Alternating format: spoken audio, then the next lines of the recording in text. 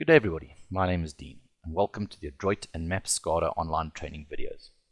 The following video is the sixth in a series of guides designed to help you the user become more familiar with our products. Today I'll be showing you how to display an analog agent on a graphic form. For those of you not familiar with the Adroit products, I recommend that you head on over to the Adroit website www.adroit.co.za.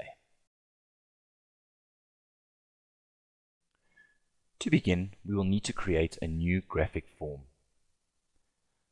I will give this graphic form a name main. Once I've given it a name and hit enter, the toolbox will then appear. From the toolbox, I'm going to be working with a vector text object, which I place on my screen. The vector text can be manipulated or changed by using the drag handles on the side of the object. Can then undo my changes by clicking on the undo button in the top left hand side. We can then go along and select our design ribbon. The design ribbon will allow me to change the properties of this object like the font size for example. Once I've created and adjusted the properties of this object I can go and save my graphic. To assign a value to this or display value to this object, I can work with the behaviors ribbon, where I will use a display value behavior.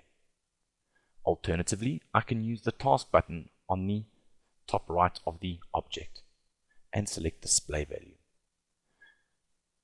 The data element which will be driving this object can be browsed using the data element browser. I will now select the analog motor pump flow. The slot that I wish to view is the value of this analog agent. Once I've selected the data element, I click Finish and I close my display value and save the changes. If I wish to edit this value, I can just click on the task icon again and click on my display value. I'm now going to go and change the formatting and I wish to remove all decimal points for this particular value. I click on the finish, I save my graphic form and now I can go and view this by clicking on the run icon.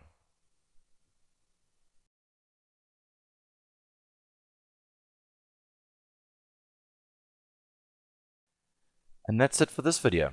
In the next video I'll be showing you how to write a value to the analog agent motor pump flow from a graphic form. I hope you found this helpful and if you have any questions please feel free to add a comment.